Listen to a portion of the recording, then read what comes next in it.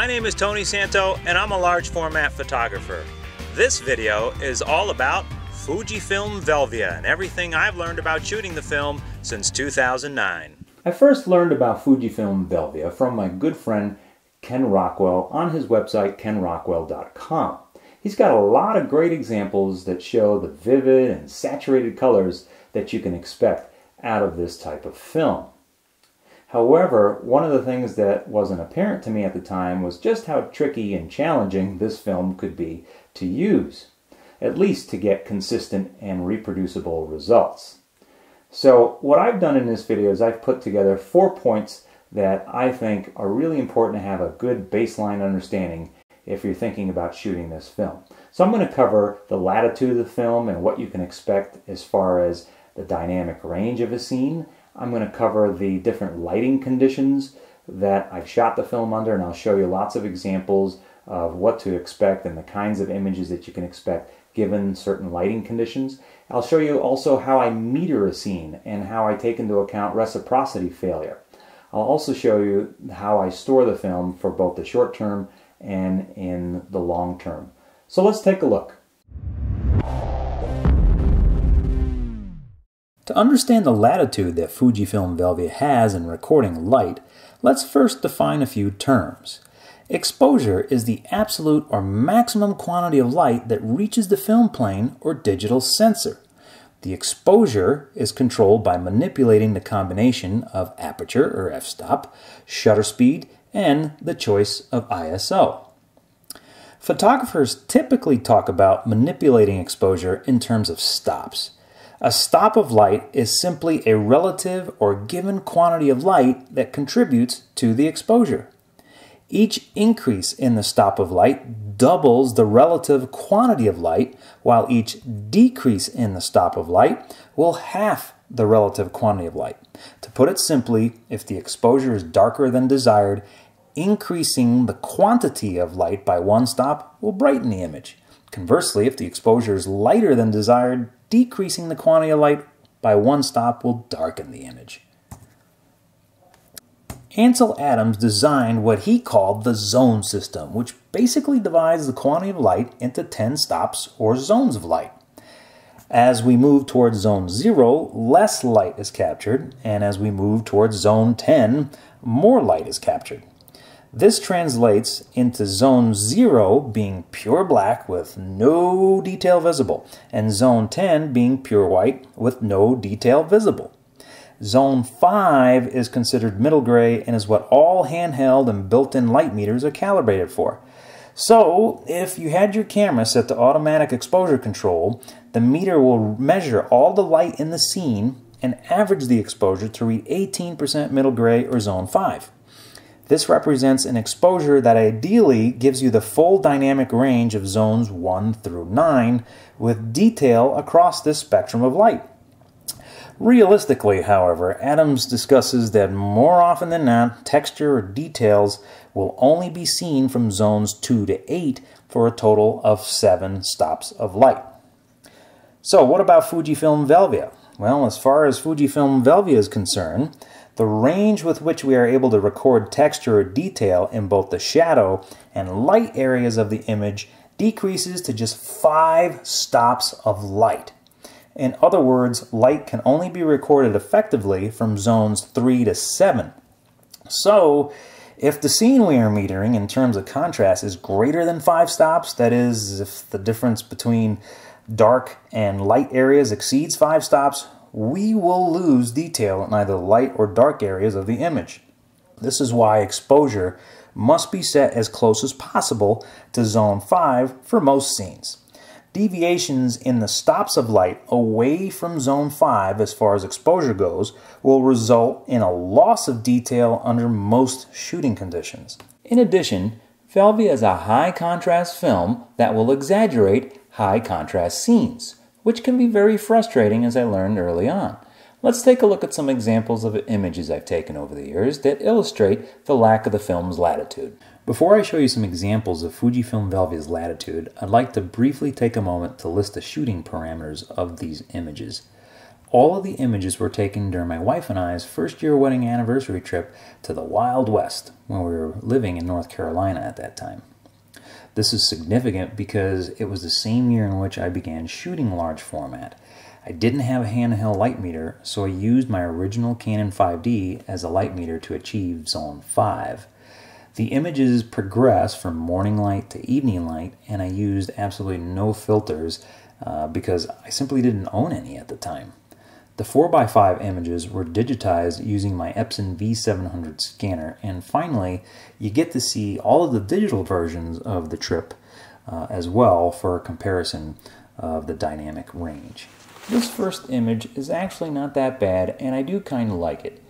However, it does demonstrate the challenge of shooting this type of film. I like how the sky is nicely exposed with great color, as well as the sign itself. Once you get into the foreground and palm tree branches, you begin to see how those areas lose detail because of the film's latitude. For this particular scene, you could make the argument that it conveys a certain mood. Next up is a sunrise shot from Zion National Park, where I naively thought that I would capture detail in both the nicely lit mountains and in the shaded foreground at the same time. That obviously didn't happen since it is a high contrast scene despite being metered for Zone 5. This image is from Bryce Canyon National Park on a very cold morning with incredible fog hovering in the lowlands. I've been back many times and I'm yet to see a sunrise match the beauty of the one we saw on this particular day. Anyhow, this is a high contrast scene exposed for Zone 5 that demonstrates loss of detail and color saturation in the sky. The foreground could also use about a stop increase of light as well. A graduated neutral density filter will definitely help as I've since gone back and tried one out on this scene several times. Nonetheless, this image actually provided a good base for manipulation in Photoshop and turned out reasonably well in my humble opinion. This image was taken around 11 a.m. at Capitol Reef National Park.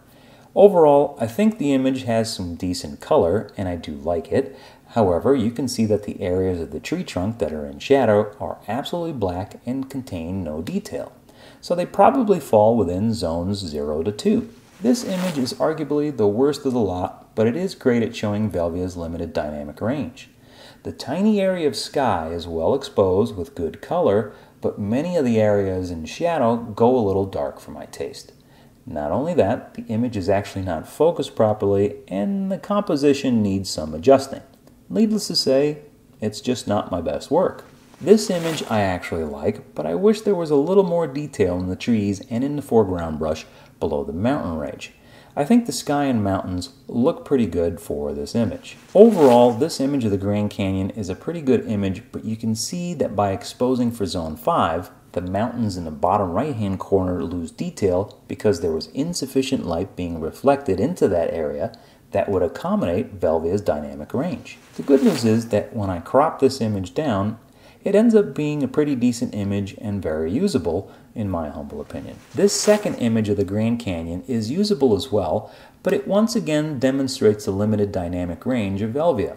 A graduated neutral density filter of 1 to 2 stops would probably be sufficient to pull that detail out of the foreground. This last image of the New York, New York Hotel Casino was taken at about 10 p.m. Knowing what I know now about Velvia, it's pretty impressive that the film captured quite a bit of detail in the shadowed areas of the building without losing too much detail in the lighted areas. If I were to do this shot over today, I would definitely take it during the blue hour so that the sky would have a nice blue color to it. Despite the narrow five-stop dynamic range of Fujifilm Velvia, there are a variety of lighting conditions where it will perform quite well. During the 5 to 10 minutes prior to sunrise, Velvia can burst with color, as in this sunrise shot. Although faint to the human eye, the initial rays of light are recorded nicely on Velvia because of the innate film contrast.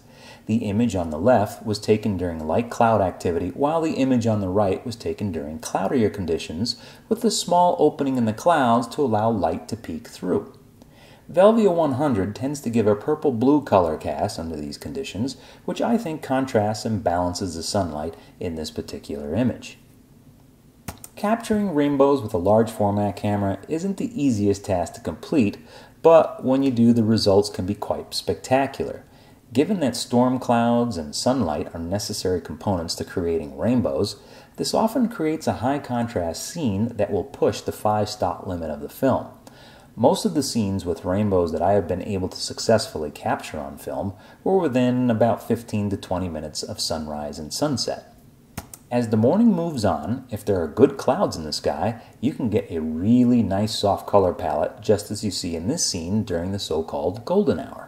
Just after a fresh snowfall and as the storm clears, the sky can take on a really amazing blue color as in this scene. I typically don't shoot Velvia around the hours of noon, but there are instances where that can actually be beneficial. These images of the wave were taken at approximately 1 p.m. in the afternoon so that I could minimize the effect of shadows on the interesting colorful lines within the layers of rock. On this particular day, I was extremely fortunate to have some perfectly placed clouds that help retain a more intense blue color in the sky. These two images were taken on a day with very few clouds, and as a result, some of the intense blue sky is lost, which makes the scenes, particularly the one on the right, look flat and less interesting and, of course, less colorful. Once the late afternoon rolls around, the lighting gets ideal again, and the color palette becomes soft and rich. Once again, having clouds in the sky helps intensify the colors in the scene. The 15 to 20 minutes just before sunset during the golden hour and in the presence of clouds really brings out the colors that I particularly enjoy. The last rays of light for the day can be quite amazing and imparts nice warmth to a scene. One of the techniques that works great with Velvia around this time is pointing the lens directly at the sun. That cholla cactus just glows with intensity. Just as we saw earlier with sunrise, rainbows at sunset can produce very vivid and intense colors. Surprisingly, overcast conditions can produce some interesting and vibrant colors. Scenes that include a sky will typically take on a gray-blue appearance and result in red colors that jump out at you as in the scene on the left. However, I really enjoy overcast conditions for detail work like these colorful starfish. A lightning storm with overcast conditions at sunset can give you some fun results as well. I think what helps this image is that the clouds are not as thick on the right side of the horizon, which allows for some of that sunlight to reflect back into the sky. Shady conditions are similar to overcast conditions, but have the benefit of reflected light. These images have added warmth because of the sunlight that is reflecting back onto the scene. The same goes for this scene. Warm sunlight is bouncing off of the opposite canyon wall and back into the cliff palace. Fog imparts an enigmatic element to a scene that I absolutely love in this image. The colors tend to be on the cooler side, which I think works well for a snow scene. When fog begins to clear, you can get some pretty amazing beams of light, but the scene can turn pretty high in contrast as in these two images. As you can see, the foreground begins to take on a more silhouette-like appearance and you begin to lose some of the detail. Combining natural light with artificial light works really great for the urban scene. These images were both taken within minutes of the sun setting behind the mountains for eye-popping color. Here's another example at sunset and one of my favorites. If you wait for the blue hour, which is just before sunrise or beginning about 10 minutes after sunset, the sky will take on a blue color in photographs just like this image. In the studio, Velvia will pop with color, but you do have to keep in mind the contrast of the film. In this scene, I used the contrast to my advantage to create a moody image. This last slide shows two more studio examples of how great Velvia is for a macro shot of a rose and what happens to skin tone if you photograph people with it. Skin usually will appear more pink or red. This could easily be corrected with a color chart or in image editing software. So the very first thing that I do when I'm trying to determine exposure is measure the latitude of light to see if it falls within the five stops of light that Fujifilm Velvia has. So what I'm going to do first is make sure that my ISO is set correctly. So I'm just going to use ISO 50 for demonstration purposes here. And I'm going to look at the scene, determine where I want detail in the shadow area. So I'm going to take a look at my cactus and I get 1 15th of a second at 8.0. I'm going to lock that number into memory. Then I want detail in the clouds, so I'm going to take a look at what the spot meter says for the clouds. I'm going to lock that value into memory, which was 1 250th of a second at 8.0.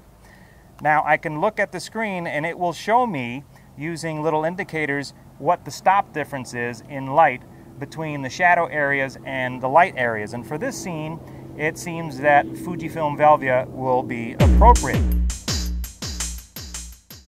So once I've locked in my exposures, one for the shadow areas, so that being 1 15th of a second, and one for the highlight areas, 1 250th of a second, both at 8.0, I now have two numbers locked into memory. So what that allows me to do is check what the stops of light are going to be for this particular scene. So in this case, I've got five stops of light for this scene, which just squeezes into Fujifilm Velvia's five stops of light. But now what I need to do is calculate the zone 5 average of the scene. And to do that, I simply just press the average button and I now have 1 60th of a second displayed on the screen here and also another indicator uh, bar at the bottom of the screen that tells me that this is the average or zone 5 for this particular scene. So the meter has now averaged out the scene such that if I shoot at 1 60th of a, of a second, I should get detail in some of the shadow areas as well as the highlight areas by using this particular shutter speed and aperture combination. One of the nice things that this meter does is once I've got my average for the scene is that I now can rotate the dial and select other apertures that I might be interested in and it will automatically adjust the shutter speed based on the aperture that I choose. Once I've determined the average meter reading, or zone 5, the final step that I like to do is scan the scene for exposure values as confirmation of the correct exposure. I do this by holding down the exposure button while I pan the scene and watch the values on the meter display to ensure that the scene fits within plus 2 and minus 2 stops or exposure values. That would correspond with Fujifilm Velvia's 5 stop range. If my exposure values fall outside of this range, I'll determine whether or not I can use a graduated neutral density filter to reduce the light in the sky and bring the scene back to within Velvia's limits. When the scene is in shade, like we have right now, the sun has set just behind the mountains, so there's even lighting across this cholla cactus. So all I'm going to do, it couldn't be any simpler, is pull out the incident meter, make sure that the dial is set correctly, so that you are reading the incident meter and not the spot meter. And you simply point the globe back at the camera lens, get your reading, take a look at what you get, one eighth of a second at 8.0 for at an ISO of 50. So that would be the reading that I would go with if I was doing some detail work with a cholla cactus like this in this kind of lighting.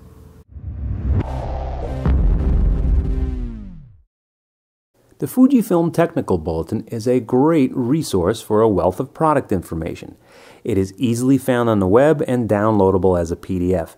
I would highly recommend reading this document carefully. Once exposure becomes long enough, the sensitivity of the film to light slows down from what we would normally expect. In Velvia 50's case, that begins with exposures greater than 1 second, with Fujifilm not recommending exposure greater than 32 seconds. So does this mean that we have to purchase the color compensating filters suggested by Fujifilm and not expose the film longer than 32 seconds? With all due respect to Fujifilm, I do not follow these recommendations. I enjoy the vivid colors that can be produced with long exposures. Instead, I simply double my exposure readings for exposures greater than 2 seconds. So if my meter says 3 minutes, I expose the film for 6 minutes. It's not the most scientific method, but it has worked well for me as long as I get my initial exposure dead on at zone 5. If you're looking for a more precise correction, my good friend Ken Rockwell recently published his data correction for Velvia 50 on his website kenrockwell.com. If you are using Velvia 100, Fujifilm does not recommend reciprocity correction for exposures up to 1 minute in length.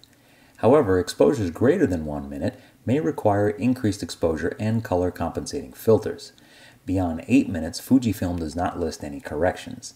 In my experience, Velvia 100 tends to slightly overexpose at its ISO rating of 100, so I typically don't consider reciprocity failure outside of Fujifilm's recommendations. In all honesty, there have been several occasions where I've treated Velvia 100 like Velvia 50, and I ended up with overexposed, unusable images. I've gotten some pretty consistent and repeatable results using these techniques. Just remember that the film is progressively slowing down as time goes on, and that time is actually on your side when it comes to Velvia 50, but not necessarily with Velvia 100. Sometimes there are situations where I won't use a Zone 5 average of the scene. The prime example is that of the silhouette, as in this image of the mittens at Monument Valley. To meter this scene, I simply took one spot meter reading off of the intense red sky and used that reading to set my aperture and shutter speed. So if you're not looking to capture the entire dynamic range of a scene, you can creatively use light to accent selective elements by allowing some of the shadow areas to go dark or the highlight areas to go white. This is accomplished by simply manipulating where you decide Zone 5 should be.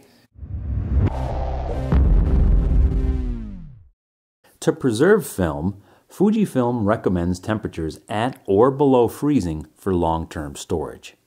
For long-term storage of my film, whether it's unexposed film or exposed film, I like to have a dedicated freezer like this one, which I purchased off of a major retailer to store my film in.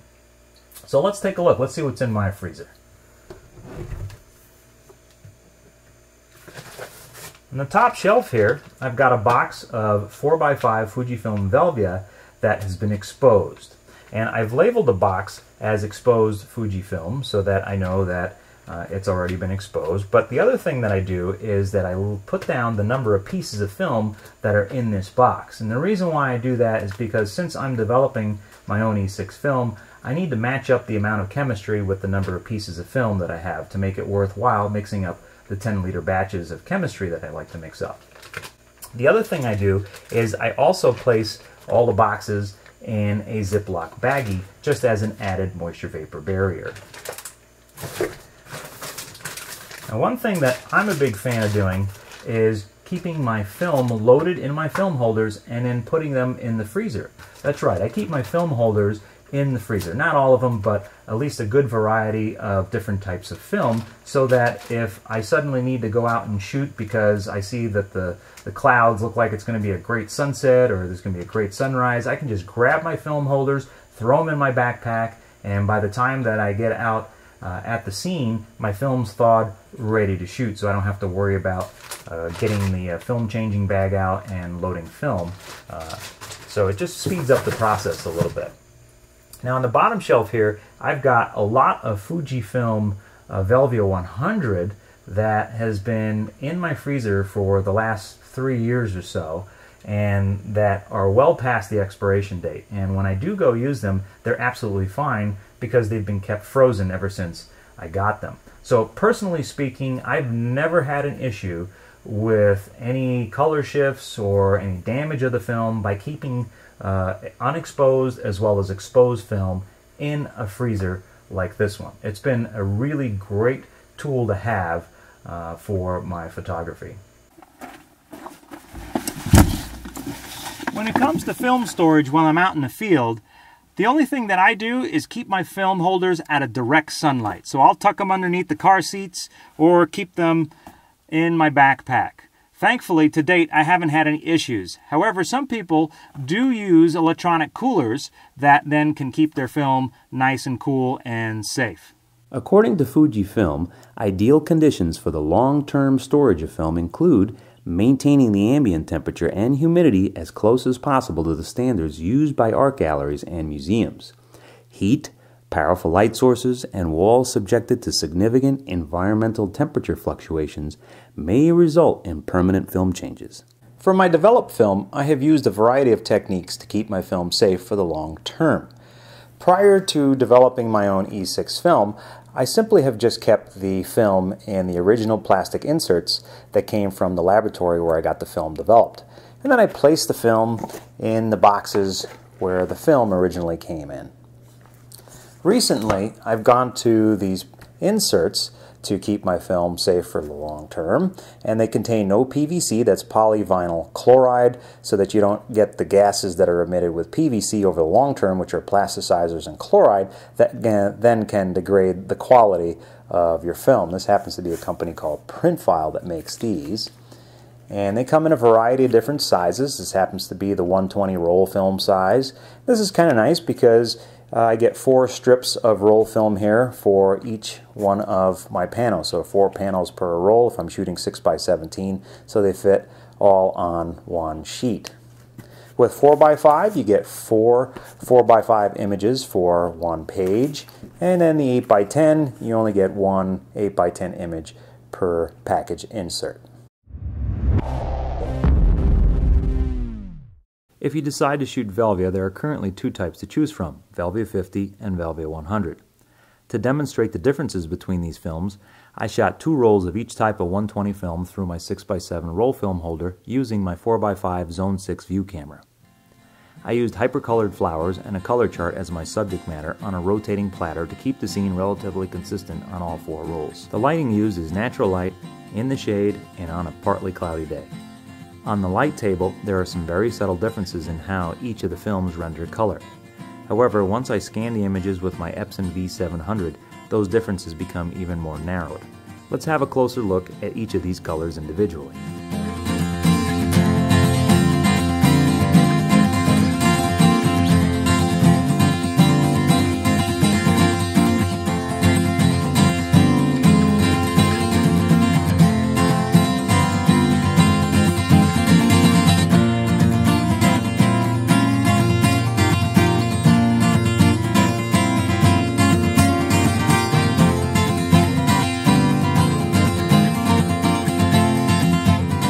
Since I had 10 frames on each roll, I also decided to demonstrate what happens to the colors of Velvia as you under and overexpose the scene.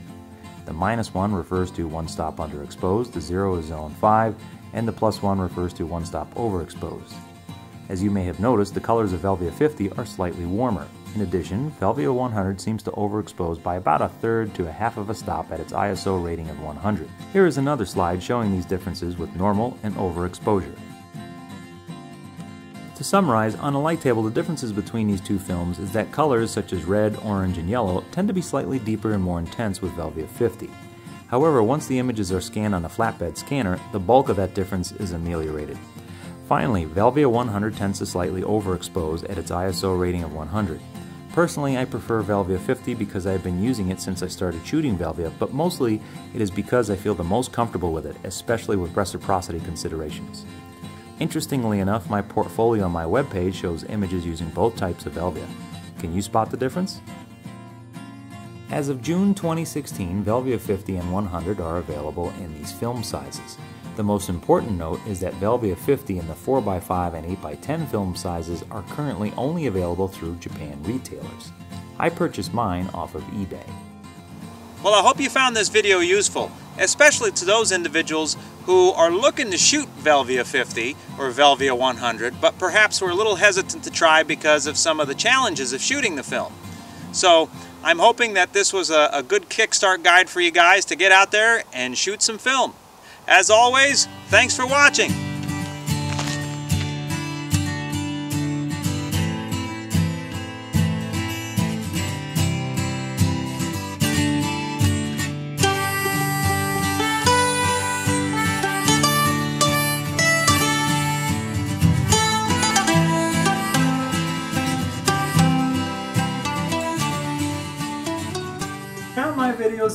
Educational or enjoy watching them for the entertainment value, please consider supporting me so that I can continue to produce new content ad-free.